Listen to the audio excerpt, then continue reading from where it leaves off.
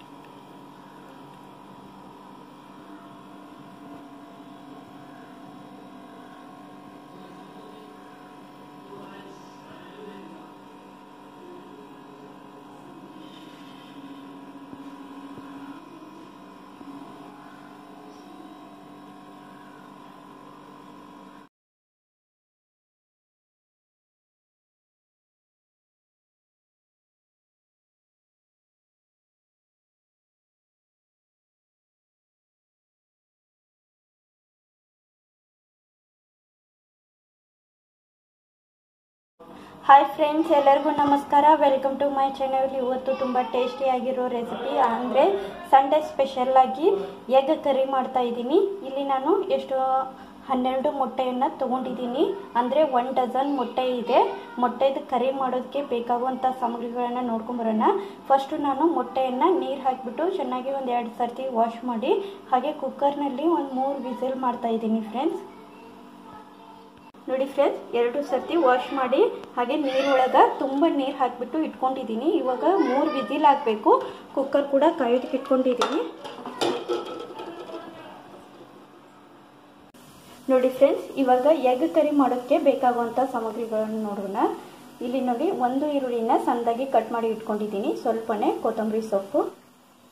ನಾಲ್ಕರಿಂದ ಐದು ಹಸಿಮೆಣಸಿನ್ಕಾಯಿ ತೊಗೊಂಡಿದ್ದೀನಿ. ಸ್ವಲ್ಪನೇ ಪಲಾವ್ ಎಲೆ ತೊಗೊಂಡಿದ್ದೀನಿ. ನೋಡಿ, ಇದು ಒಗ್ಗರಣೆಗೆ.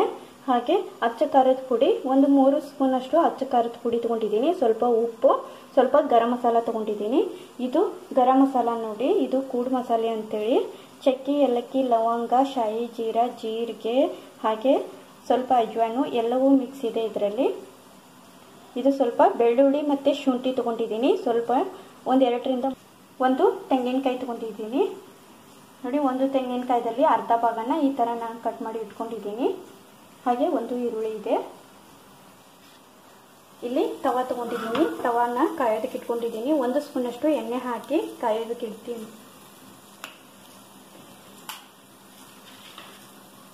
ಇವಾಗ ಈರುಳ್ಳಿ ಹಾಕ್ತಾ ಇದ್ದೀನಿ.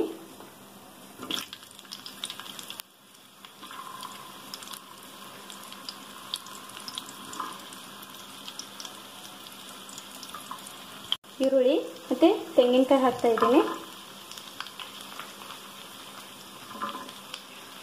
ಇವಾಗ ಟೊಮೆಟೊ ಹಾಕ್ತಾ ಇದ್ದೀನಿ. ಬೆಳ್ಳುಳ್ಳಿ ಶುಂಠಿ ಹಾಕ್ತಾ ಇದ್ದೀನಿ. ಬೆಳ್ಳುಳ್ಳಿ, ಇದು ಹಸೆ ಶುಂಠಿ. ಇವಾಗ ಸ್ವಲ್ಪ ಕೆಂಪಗಾಗೋ ತನಕ ಫ್ರೈ ಮಾಡ್ಕೋಬೇಕು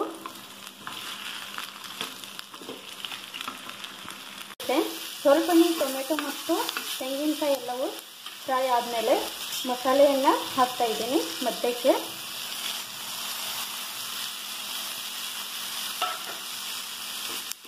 ನೋಡಿ ಮೊದಲೇ ಹಾಕೋದ್ರಿಂದ ತುಂಬ ಹೊತ್ತಿಡುತ್ತೆ ಹಾಗಾಗಿ ಲೇಟಾಗಿ ಹಾಕ್ತಾ ಇದ್ದೀನಿ. ಸ್ವಲ್ಪ ಫ್ರೈ ಮಾಡಿಕೊಂಡು ಆರೋಗ್ಸಿಡ್ತಾ ಇದ್ದೀನಿ. ಈ ಥರನೇ ಕೆಂಪಗಾಗಿ ಫ್ರೈ ಆಗಬೇಕು. ಅಂದ್ರೇ ಗ್ರೇವಿ ತುಂಬ ರುಚಿಯಾಗಿರುತ್ತೆ. ನೋಡಿ, ಇವಾಗ ಆಯಿತು, ತೆಗೆದಿಡ್ತಾ ಇದ್ದೀನಿ. ಆರಬೇಕು, ಆರದ್ಮೇಲೆ ಮಿಕ್ಸರ್ ಜಾರ್ನಲ್ಲಿ ಹಾಕ್ತಾ ಇದ್ದೀನಿ. ನೋಡಿ ಮಿಕ್ಸರ್ ಜಾರ್ನಲ್ಲಿ ಇವಾಗ ಹಾಕಿ ಇಟ್ಕೊಂಡಿದ್ದೀನಿ. ಸ್ವಲ್ಪ ಆರಿದೆ. ಇವಾಗ ಸ್ವಲ್ಪ ನೀರು ಹಾಕಿಬಿಟ್ಟು ಸಣ್ಣದಾಗಿ ರುಬ್ಕೊಳ್ತಾ ಇದ್ದೀನಿ.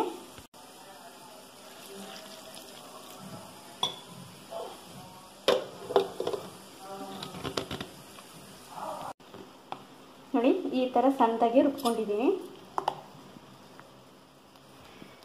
ನೋಡಿ, ತುಂಬ ಸಣ್ಣದಾಗಿ ಇರಬೇಕು. ಬಾಂಡ್ಲೆ ಇಟ್ಕೊಂಡಿದ್ದೀನಿ. ಬಾಂಡ್ಲೆ ಒಳಗೆ ಎರಡು ಚಮಚದಷ್ಟು ಎಣ್ಣೆ ಹಾಕಿದ್ದೀನಿ. ಎಣ್ಣೆ ಚೆನ್ನಾಗಿ ಕಾಯಬೇಕು.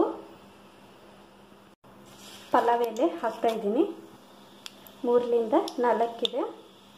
ಸ್ವಲ್ಪನೇ ಒಂದು ಈರುಳ್ಳಿ ಕಟ್ ಮಾಡಿ ಇಟ್ಕೊಂಡಿರೋದು.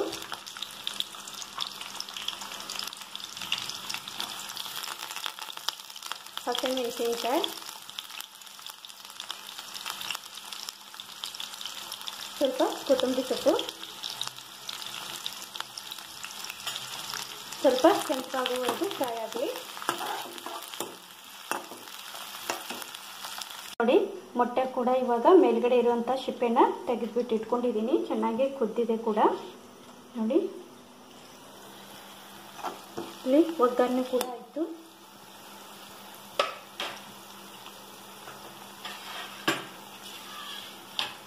ಒಗ್ಗರಣೆಯಲ್ಲಿ ಮೊಟ್ಟೆ ಹಾಕ್ತಾ ಇದ್ದೀನಿ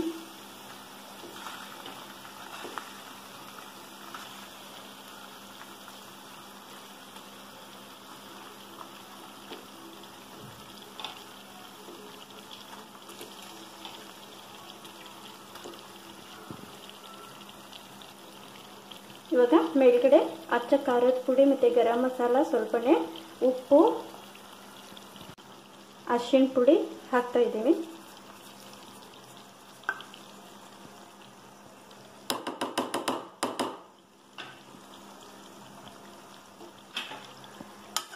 ನೋಡಿ.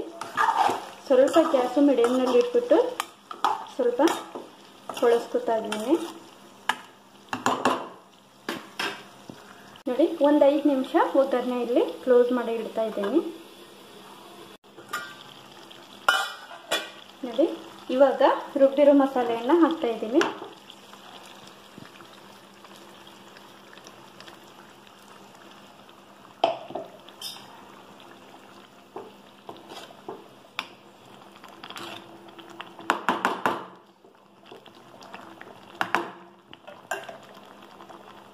ನೋಡಿ ಮಿಕ್ಸರ್ ಜಾರ್ನಲ್ಲಿ ಸ್ವಲ್ಪ ನೀರು ಹಾಕ್ಬಿಟ್ಟು ಹಾಕ್ತಾ ಇದ್ದೀನಿ ಜಾಸ್ತಿ ಹಾಕೊಳ್ಬಾರ್ದು ಸ್ವಲ್ಪನೇ ಹಾಕ್ತಾ ಇದ್ದೀನಿ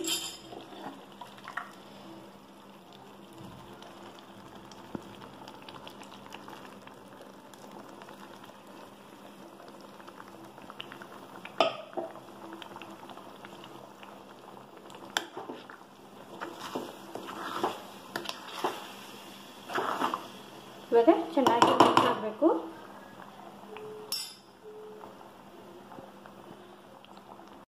ನೋಡಿ, ಈ ಥರ ಮಿಕ್ಸ್ ಆದಮೇಲೆ ಸ್ವಲ್ಪನೇ ಕುದಿಸ್ಕೊಳ್ಬೇಕು. ಮಸಾಲೆ ಸ್ವಲ್ಪ ಒಂದು ಐದರಿಂದ ಹತ್ತು ನಿಮಿಷ ಕುದ್ರೆ ಸಾಕು, ಮುಗೀತು. ತುಂಬಾ ಈಸಿಯಾಗಿರೋ ರೆಸಿಪಿ ತುಂಬಾ ರುಚಿಯಾಗಿರುತ್ತೆ. ರೊಟ್ಟಿ, ಚಪಾತಿ, ಅನ್ನದ್ರಲ್ಲಂತೂ ತುಂಬಾ ರುಚಿಯಾಗಿರುತ್ತೆ. ಸ್ವಲ್ಪ ಕ್ಲೋಸ್ ಮಾಡಿ ಇಡ್ತಾ ಇದ್ದೀನಿ. ನೋಡಿ.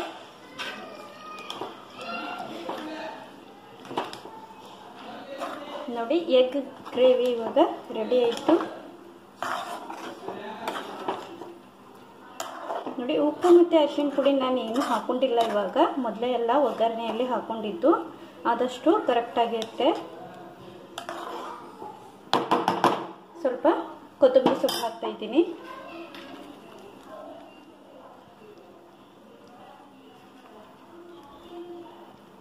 ನೋಡಿದ್ರಲ್ವಾ ಫ್ರೆಂಡ್ಸ್ ಸಿಂಪಲ್ ಆಗಿನೇ?